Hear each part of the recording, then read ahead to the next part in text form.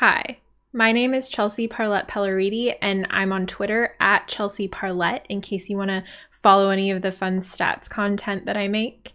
And speaking of stats content, something that I've spent a lot of time making in the past year are guided simulation exercises. I teach data science to mostly undergraduates, and it can be an intimidating subject to them.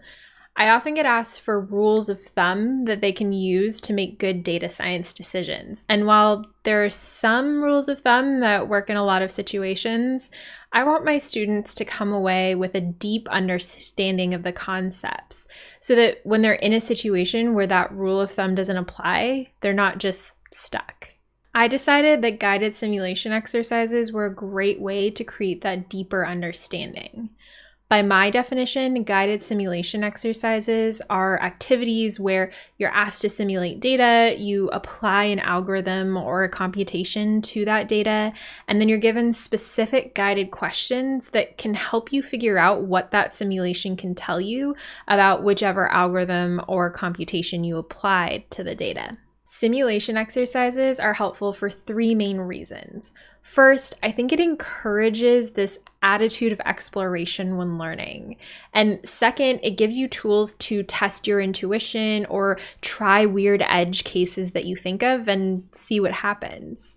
And finally, I think it empowers this deep understanding of the concepts that you're learning. A lot of people learn data science because they think they should. But my goal is to help people really deeply explore the concepts that they're learning. And sure, they could write their own simulations, but I think the guided part is really important. I think these exercises are a little more practical than just throwing people in the deep end on their own. It makes simulating data in R feel more approachable and it gives people tools to try and figure things out themselves rather than just relying on what they're told. Relatedly, the guided nature of these exercises gives people the tools to learn and try things on their own and tailor their experience to things that specifically make them curious. For example, maybe you're wondering what would happen if I ran principal component analysis on a set of variables that are completely uncorrelated? Well, try it out.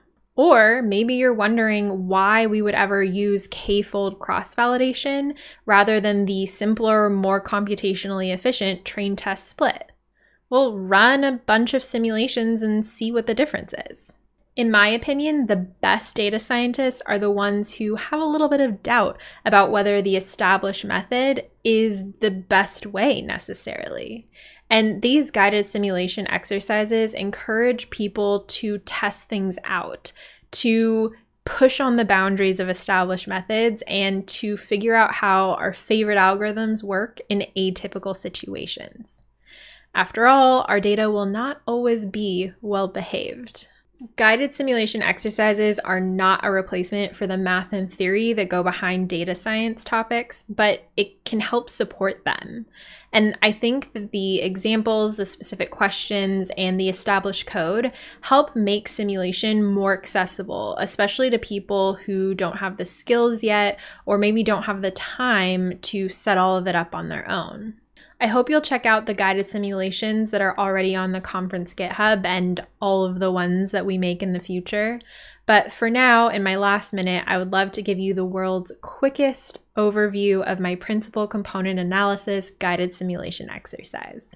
When I teach principal component analysis, one of the main ideas that I emphasize is that principal component analysis takes advantage of relationships between variables in order to create more efficient axes that better define the variation in the data. So it shouldn't be a surprise that when we look at principal component analysis on completely uncorrelated variables, the scree plot shows us that each variable pretty much contributes its own independent information. On the other hand, when we have highly correlated variables, the PCA model as well as the scree plot tell us that a lot of the variation then can be explained by one single component because there was a lot of shared information in the data originally. Thank you so much for listening to my talk. I would love to connect with all of you over the internet and hear whether you use any of these guided simulation exercises, either for yourself or for people that you teach. And definitely let me know if you create any of your own. I would love to hear about it.